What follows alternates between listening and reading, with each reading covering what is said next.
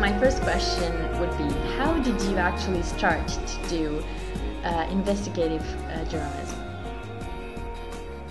Oh, see, that's almost a trick question because I don't differentiate between investigative journalism and just in, good journalism or reporting.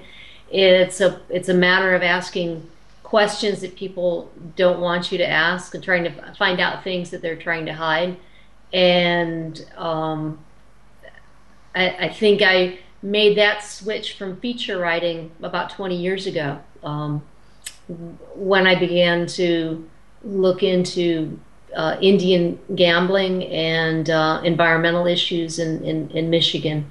And um, uh, it, it, then it became a matter of picking up the tools to find things people don't want you to find and, and, and you know, adding to, to that skill set. But, um, but any kind of reporting that asks questions like that, I think, is investigative journalism. Um, we also have a question from um, Steve Katz, from an editor of uh, Mother Jones, who said it would be interesting to hear her opinion on why the U.S. business press failed so badly in covering the events leading up to the collapse of the housing market in 2008 and the role that the banking industry played in that collapse. Ab- absolutely. Um, I saw a lot of parallels with the the uh, housing uh, industry and the subprime mortgage crisis with the insurance industry at the same time. They're actually two facets of the same industry, which is um, a, a securitization of risk and and packaging and reselling risk. Um, the risk of homeowners um, not paying their mortgages, or the risk of a hurricane of taking out communities and and they're bought and sold by the same hedge funds and the same bank managers and in both cases the i found the, the mainstream press the financial press even the specialty trades press were turning a blind eye to the larger problem. I think there's a willingness to especially in financial matters and more complicated areas of reporting to accept what experts tell you and not do your own independent fact checking.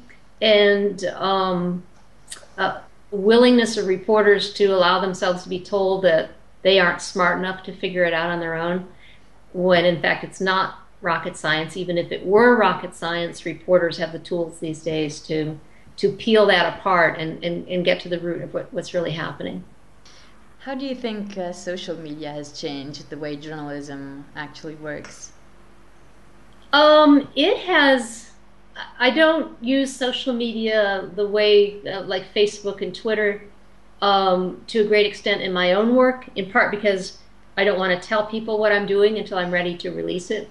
Okay. Uh, if I were doing a daily beat, I would be tweeting and, and developing a, a following all the time because it's so instantaneous. It lets you get access to people. But in, in this last project, we used um, the web pages and we made our data available to viewers online and they could type in information and get customized information back to them that let them essentially write their own narrative, their own sto- story in addition to the ones that we wrote. And that's a, a, a immensely, I think, powerful new tool. You, it, it's a different way to tell a story, and it, and it lets someone um, see how it affects their own life um, which always gives you much greater impact.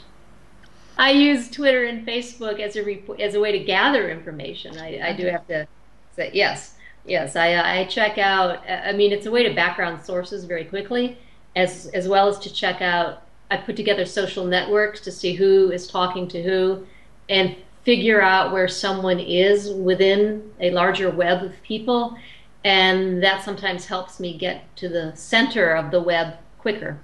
So uh, it has value. It can be very misleading, though, too. I mean, I was covering an event, someone was tweeting about the event as though they were there, and it turns out they were not. Um, it, eh, you know, it was fictitious, and um, and that's a danger. So you have to take it with a, a grain of salt. And I'm sure that that it's propaganda um, abilities have, you know, um, will be seen too for, you know, to be used by people trying to send false messages. What is journalism for you? for me, it's air and water. I mean, it's it's. I, I don't know that the question was meant that way, but but journalism is fundamental to me. It, it's um, part of the fabric of a community. In in uh, I've mostly worked at small organizations and um, served local readers, even when I've done stories that involve traveling across the world. Um, the focus has always been on the change on people's lives, and so my job as a reporter has always given me a very intimate connection with people in my community so that I feel very much part of the fabric of, of uh, people's lives in the place that I live. What is currently your media diet? My media diet. Yes. It's voracious. Good. I um, I no longer get a paper newspaper delivered to my door. Uh, but I read uh, the Los Angeles Times, the Wall Street Journal, the New York Times on an almost daily basis, as well as my own paper, the Sarasota Herald Tribune, and um, and then sporadically I. Um, I have several newspapers that I keep a watch on, uh, the, and wire services, uh, Bloomberg News especially, because I have a deep interest in economic uh, affairs and how I, th- I think even though economics are um, very often dry, the, the power that they have over people's lives is so great, as you're seeing now in Italy with all the hardship, that um, that I feel the duty to try to understand what's going on in that world, so I can watch for the impact in, in my world and and people around me. And uh, I don't watch television news um, simply because probably of of my hours of, of my work schedule. Um, but listen then to radio when I'm in the car and and uh, have news alerts. I have I have um, uh, blogs that I follow and and uh, I, I guess all day long there's that flow of news coming in.